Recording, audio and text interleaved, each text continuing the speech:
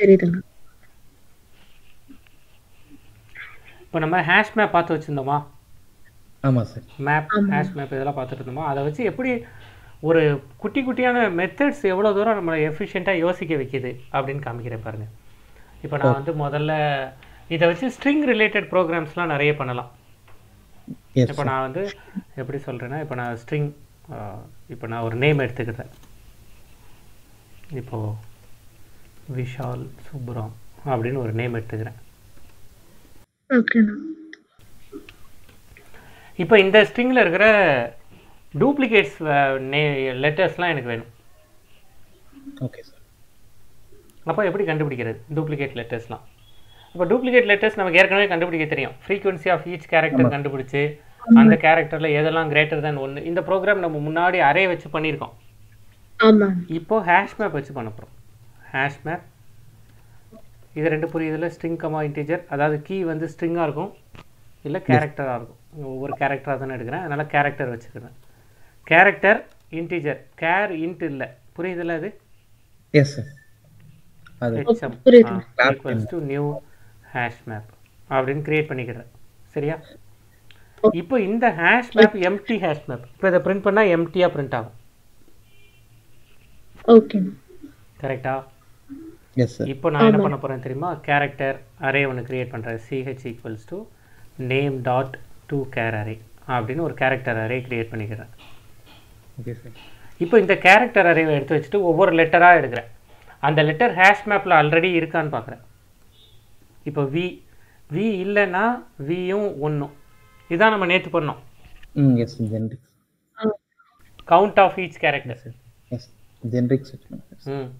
இப்போ என்ன பண்ண போகிறேங்கிறது சொல்கிறேன் ஒவ்வொரு கேரக்டராக ஒரு for for each character for each loop use பண்ணிக்கலாமா? பண்ணிக்கலாம். ஒவ்வொரு கேரக்டராக எடுத்து இங்கே பாருங்கள் அந்த அந்த கேரக்டரை கம்பேர் பண்ணுறேன் அந்த கேரக்டரை இப்போ நேற்று எப்படி பண்ணோம்? இஃப் நாட் நேற்று இப்படி இப்படி தான் நம்ம பண்ணோமா? நேற்று ப்ரோக்ராம் வந்து if not equal to idea என்னன்னு புரிஞ்சுக்கோங்க. ஐடியா வந்து இங்கே எழுதி காமிக்கிறேன். இதான் நம்மளோட ஐடியா நம்மக்கிட்ட ஒரு ஹேஷ் மேப் இருக்குது அதில் வந்து கீ வேல்யூ இருக்குது கரெக்டா இந்த கீழே நல்லா பார்த்துக்கோங்க. முதல்ல இது ரெண்டுமே எம்டியாக இருக்குது இப்போ நான் வி விங்கிறது போய் இந்த ஹெச்எம்ல இருக்குதான்னு பார்க்க போகிறேன் இப்போ HM dot contains of contains key of V அப்படின்னு பார்க்க போகிறேன் ஓகே இருக்கா? இருக்கு சார் இல்லை இல்லை. நேமில் இருக்குது ஹெச்எம்ல இருக்கா? இல்ல. இல்லை. அப்படி இல்லைன்னா இந்த கீழே வியவும் இந்த வேல்யூவில் ஒன்றையும் வச்சுக்க போகிறேன் இல்லைன்னா. இருந்துச்சுன்னா இருந்துச்சு. கண்டெய்ன்ஸ் டாட் இப்போ அடுத்து விக்கு அப்புறம் ஐ தேடுவேனா? கண்டெய்ன்ஸ் கீ ஆஃப் ஐன்னு கொடுப்பேனா? அப்போ ஐன்னு கொடுத்தா அது இங்கே வந்துருமா? ஐ ஒன்றுன்னு வந்துருமா? அடுத்தது வி ஐ கொடுத்ததுக்கப்புறம் எஸ் கொடுப்பேனா? ஆமாண்ணா HM dot contains key of S S அப்படின்னு கொடுப்போமா? இப்படியே இப்படியே ஐவிஐஎஸ்ஹெச் ஏஎல் வரைக்கும் வந்துருவோம். ஆமாண்ணா ஓ இவருக்கு எப்போ ரிப்பீட் ஆகுது? ஆ ஓகே ஸோ எஸ்ல ரிப்பீட் ஆகுதா? ஆமாண்ணா ஓகே அப்போ ஃபஸ்ட்டு விஷால் வரைக்கும் வந்துருவோமா? ஆமாம் சார் அப்போ விஷால் வரைக்கும் என்ன வந்துரும்? விஷால். ஒன் இது விஷால் வரைக்கும் வந்துட்டேன். அதுக்கு அடுத்து தான் விஷால் எஸ் வர ஆரம்பிக்குது.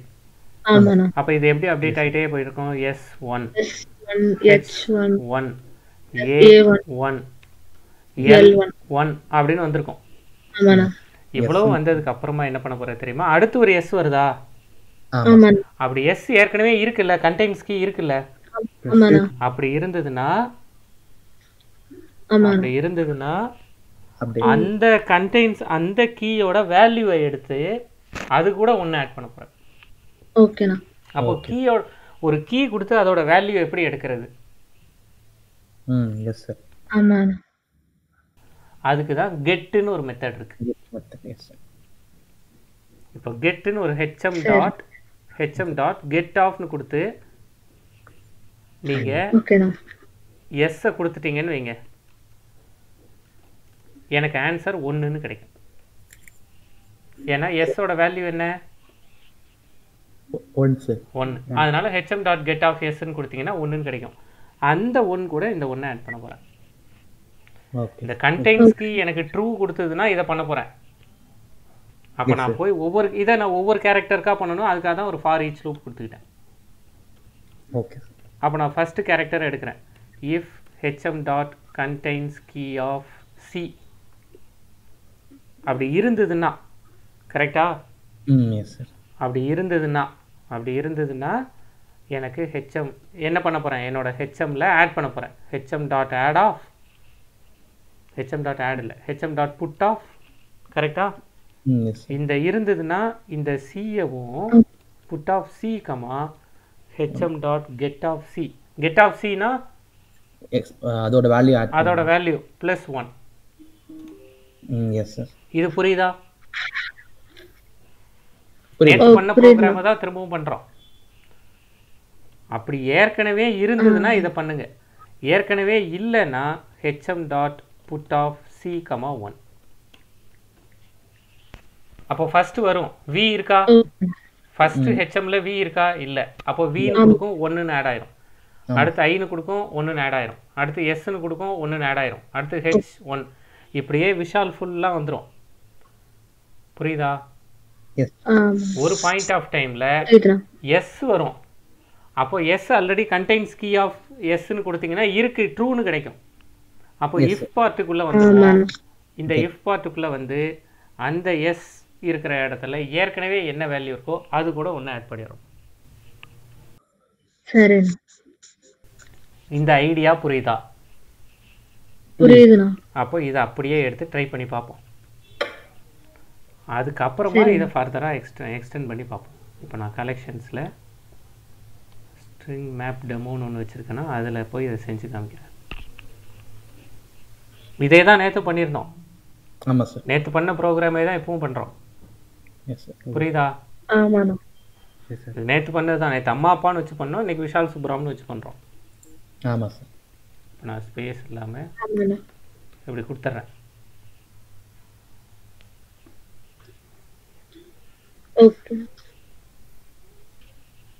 இப்போ வி ஒரு தடவை இருக்குது ஏ ரெண்டு தடவை பி ரெண்டு தடவை. இப்போ சுப்ராமில் பி ரெண்டு தடவை இருக்குது ஆர் ஒரு தடவை. எல்லாம் வந்துருச்சா? வந்துருச்சு. கரெக்டா இப்போ எல்லாம் வந்துருச்சு. இப்போ என்கிட்ட என்ன கேட்குறாங்க ஒவ்வொரு கேரக்டரும் எத்தனை தடவை வந்திருக்குன்னு கண்டுபிடிச்சிட்டோம். ம் எஸ் ஆமாண்ணா இப்போ இதில் எதெல்லாம் டூப்ளிகேட்னு கேட்குறாங்க எப்படி கண்டுபிடிக்கிறது? இது ஈஸியான வழி ஹெச்எம் டாட் இப்போ என்ன character count மேப்பா character count map dot entry set இது இப்போ எழுதின ப்ரோக்ராமில் ஹெச்எம்னு வச்சுருந்தோம் இங்கே கேரக்டர் கவுண்ட் மேப்னு வச்சுருக்கோம் அவ்வளோதான் எஸ் என்ட்ரி செட் இப்போ என்ன என்ட்ரி கிடைக்கும்? மேலே பாருங்கள் என்ட்ரி செட்டுன்னு கொடுத்தா மேலே செட் ஆஃப் என்ட்ரி கேரக்டர் இன்டீஜர்னு கொடுக்குறாங்களா? எஸ் சார் ஆமா என்ட்ரி செட் எனக்கு ஒரு செட் ஆஃப் என்ட்ரியை கொடுக்கும். என்ட்ரி செட் ஒரு செட் ஆஃப் என்ட்ரியை கொடுக்குமா? ஆமாண்ணா கரெக்டா புரியுதா? சூரியன் உங்களுக்கு புரியுதா? எஸ் சார் என்ட்ரி செட் ஒரு ஒரு செட்டு என்ட்ரியா எடுத்து எடுத்து கொடுக்கும். அப்படிதானே சார் அந்த செட் அந்த செட்டுக்குள்ள என்ன இருக்கும்? அதுக்குள்ள- மேப் டாட் என்ட்ரி இருக்கும். ஆமாம் சார் மேப் டாட் என்ட்ரி இது வந்து மேப் டாட் என்ட்ரி தானே? ம் எஸ் அதுக்குள்ள கேரக்டரும் இன்டீஜரும் ஆ எஸ் சார் அதுக்கு நான் ஏதாவது ஒரு பேர் வச்சுக்கிறேன் எஸ் அவ்வளோதாங்க எஸ் புரியுது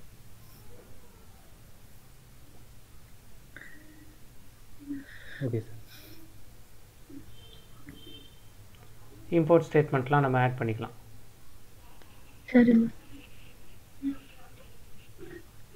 இது புரியுதா? புரியுது சார் புரியுதா? இது என்ன எரர் காமிக்குதோ அதை ஃபிக்ஸ் பண்ணுவோம் நம்ம.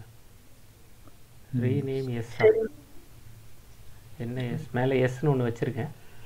அதனால எஸ்இன்னு வச்சுக்கிறேன். ஓகே மேப்பில் என்ன காமிக்குது? இம்போர்ட் கேட்குது இம்போர்ட் கொடுத்துக்கிட்டேன்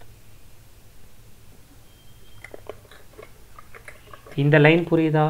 நீங்கள் வந்து செட் ஆஃப் என்ட்ரிஸை எடுக்கிறீங்க. அந்த என்ட்ரிஸ் கேரக்டராகவும் இன்டீஜராகவும் இருக்குது இப்போ நீங்கள் இதை கூட எடுத்து விட்டுருங்க. முதல்ல இது புரியுதான்னு பாருங்கள் உங்களோட செட்டு மேப்புக்குள்ளே இருக்கிற என்ட்ரி செட் அதனால் நீங்கள் மேப் டாட் என்ட்ரின்னு கொடுக்குறீங்க. இது. புரியுதா? அந்த மேப் டாட் என்ட்ரி கேரக்டரையும் ஸ்ட்ரிங்கையும் தான் அக்செப்ட் பண்ணும். இன்டீஜரையும் தான் அக்செப்ட் பண்ணும். அதனால இன்டீஜர்னு கொடுக்குறோம்.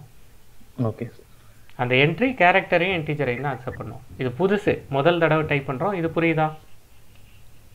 எஸ் சார் அந்த கையில் இருக்கிறது செட்டு தான். எஸ் சார் இந்த ஸ்ட்ரக்சர் புதுசு. பார்த்துக்கோங்க. இப்போ ஒருவேளை நீங்கள் இதை கொடுக்கல அப்படின்னா நீங்கள் வெறுமனே இந்த இடத்துல மேப் டாட் என்ட்ரின்னு கொடுத்தா தப்பு இல்லை. ஓகே நீங்கள் மேலே கொடுத்துட்டீங்கங்கிறதுனால நம்ம மேலே கேரக்டர் இன்டீஜர் கொடுத்துட்டோங்கிறதுனால ஜென்ரிக்ஸ் அப்ளை பண்ணிட்டோங்கிறதுனால இங்கே அதை கொடுக்குறோம். ஓகே இது மட்டும் புதுசு இதை ஒரு தடவை ரெண்டு தடவை ப்ராக்டிஸ் பண்ணி பார்த்துக்கோங்க. மற்றபடி நம்ம கையில் இருக்கிறது ஒரு என்ட்ரி செட் அவ்வளோதான் எஸ் என்ட்ரி செட்டுக்குள்ளே இருக்கிற ஒவ்வொரு வேல்யூவையாக பிரிண்ட் பண்ண தெரியுமா? ம் sir for each loop for each loop ஆமாம் கரெக்டா கரெக்ட் ஆமாம். அதே தான் இதானே என்னோட என்ட்ரி எஸ் சார் அப்போ ஃபார் இப்போ பாருங்கள் மேப் டாட் என்ட்ரி ஆஃப் இதுதான் கொடுக்க போகிறேன் கேரக்டர் கமா இன்டீஜர் அந்த செட்டு தானே இது? எஸ்சி எஸ் சார் அதில் இருக்கிற ஒவ்வொரு என்ட்ரியவும் எடுக்க போகிறேன் ஓகே சார் இப்படி. என்கிட்ட இருக்கிற எஸ்சிங்கிறது என்னோட செட்டு அந்த செட்டு என்ன டேட்டா டைப்பில் இருக்கு? மேப் டாட் என்ட்ரியாகவும் என்ட்ரி கேரக்டர் இன்டீஜராகவும் இருக்கு. ஃபார் ஈச் லூப் அப்படி தானே கொடுக்கணும்? எஸ் சார் அந்த என்ட்ரியை எடுத்து பார்க்க போகிறோம் சி டாட் அந்த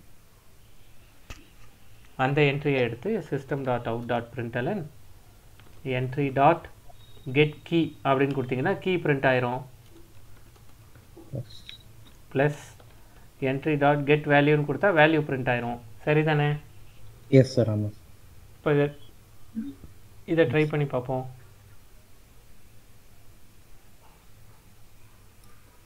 A two A two B two S ஆறு எல்லாம் வந்துருச்சா?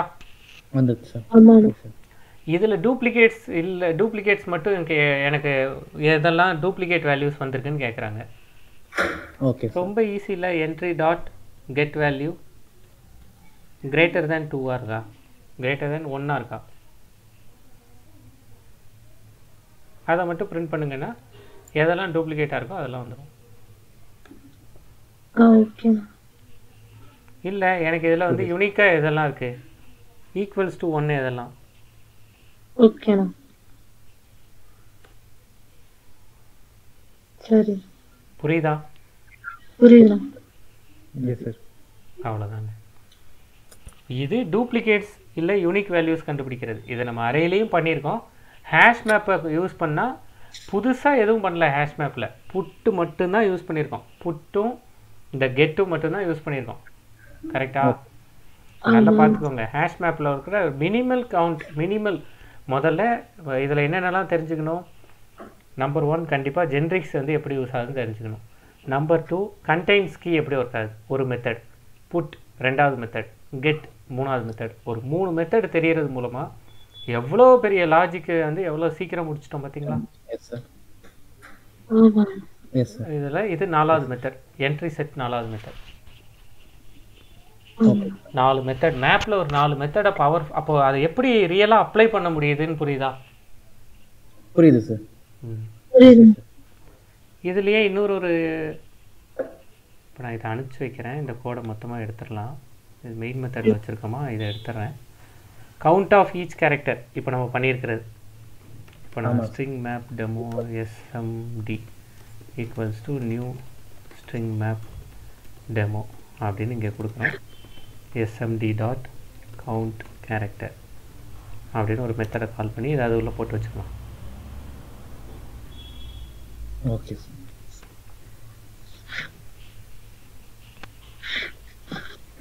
சார். இப்போ அடுத்து என்ன பண்ண போகிறோம் தெரியுமா? டூப்ளிகேட் டூப்ளிகேட் வேர்ட்ஸ் எப்படி கண்டுபிடிக்கிறது?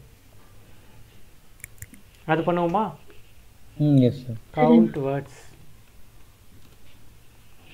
இதே அப்ரோச் தான். சேம் அப்ரோச் என்ன இங்கே கேரக்டர் அரே வச்சுருந்தீங்களா? ஆமாம் சார் அதில் ஸ்ட்ரிங் ஆமா. அங்கே ஸ்ட்ரிங் அரே வேணும் அவ்வளோதான் ஓகே அப்போ நான் இதே கோடை எடுத்து வச்சுக்க போகிறேன் சரியா? இதே கோடை ரீயூஸ் பண்ண போகிறேன் எப்படிங்கிறத காமிக்கிறேன். கவுண்ட் ஆஃப் வேர்ட்ஸ் இது இருக்கட்டும். இதில் என்னென்ன பண்ண போகிறோம் முதல்ல ஒரு ஸ்ட்ரிங் கேர் கவுண்ட் வச்ச மாதிரி ஸ்ட்ரிங் கவுண்ட் முதல்ல ஸ்ட்ரிங் அரே ஒன்று வாங்கி ஸ்ட்ரிங் ஒன்று வாங்கிக்கலாமா? வாங்கிக்கலாம் அப்போ ஸ்ட்ரிங்கில் நம்ம வந்து ஏதாவது டூப்ளிகேட் இருக்கிற மாதிரி ஸ்ட்ரிங்கில் நேம்ஸ் கொடுப்போம். இப்போ நேம்ஸ் ஓகேண்ணா நேம்ஸ் இப்போ நான் வந்து என்ன கொடுக்குறேன்? தமிழ் இங்கிலீஷ் மேக்ஸ் திரும்பவும் தமிழ்னே கொடுக்குறேன். ஓகே இப்படி நாலு வேல்யூஸ் இருக்கு என்கிட்ட. ஒரு ஸ்ட்ரிங் ஒரு இப்படி நாலு வேல்யூஸ் இப்படி ஏன் கொடுக்கணும்? இதெல்லாம் ஒரே ஸ்ட்ரிங்காக இருக்கு. ம். அப்படி கொடுப்போம் முதல்ல. கிளாஸ் ஓகே அப்போ ஸ்ட்ரிங்கை எப்படி ஸ்ட்ரிங் அரைவாக்கு மாத்துறதுன்னு உங்களுக்கு தெரியுமா? எப்படி மாத்துறது? டூ கேரரு டூ கேர் அரே கேரக்டர் அரேவாக மாற்றி கொடுக்கும் சரிண்ணா. ஸ்ப்ளிட் அப்படின்னு இப்போ இதில் உள்ள நேம்ஸ் எல்லாத்தையும் நான் வந்து தனித்தனி வேர்ட்ஸாக பிச்சு எடுக்கணும். அப்படின்னா இந்த நேம்ஸ் நேம்ஸ் டாட் ஸ்ப்ளிட் அப்படின்னு ஒரு மெத்தட் இருக்கு. அது உள்ள நீங்கள் என்ன. கொடுக்குறீங்களோ அப்படி ஸ்ப்ளிட் பண்ணி கொடுத்துரும். ஓகேண்ணா நான் ஸ்பேஸ் கொடுத்தேன்னா எனக்கு ஸ்பேஸ் படி ஸ்ப்ளிட் பண்ணி கொடுத்துரும். ஓகேண்ணா அப்போ எனக்கு ஸ்ட்ரிங் அரே கிடச்சிருச்சா? எஸ் சார் கிடைச்சிச்சு எனக்கு ஸ்ட்ரிங் அரே கிடச்சிருச்சா? அவ்வளோதாங்க அதை இங்கே கொடுத்துற வேண்டியதான் ஓகே எனக்கு இந்த ஸ்ட்ரிங் அரேல இருக்கிற ஈச் நேம் இல்லை Okay. ஈச் வேர்ட் ஓகே அதை எடுத்து பாருங்க.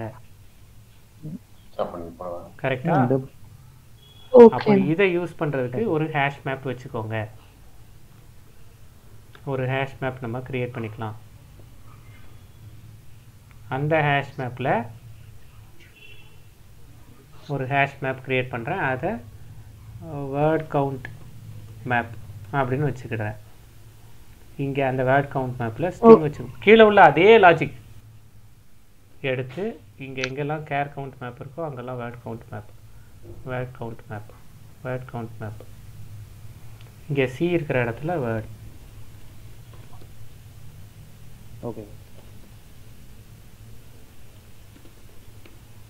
ப்ரோக்ராமில் எந்த வேற எதுவுமே மாற்றலை பாருங்க. ஆமாம் சார்.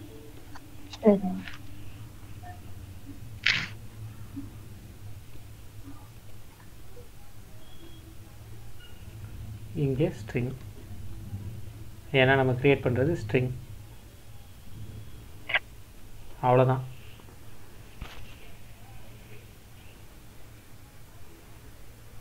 இப்போ நான் வேர்ட் கவுண்ட் இதை மட்டும் ரன் பண்ணுறேன் அப்படின்னா தமிழ் ரெண்டு மேக்ஸ் ரெண்டு ஒன்று இங்கிலீஷ் ஒன்று இதெல்லாம் ஒரே ஒரு தடவை வந்திருக்கு மேக்ஸும் இங்கிலீஷும் வந்திருக்கு. கவுண்ட் ஆஃப் ஸ்ட்ரிங் வந்துருச்சா? எனக்கு ஒருவேளை நான் கிரேட்டர் தேன் ஒன்று கொடுத்தேன்னா தமிழ் மட்டும் பிரிண்ட் ஆகும்.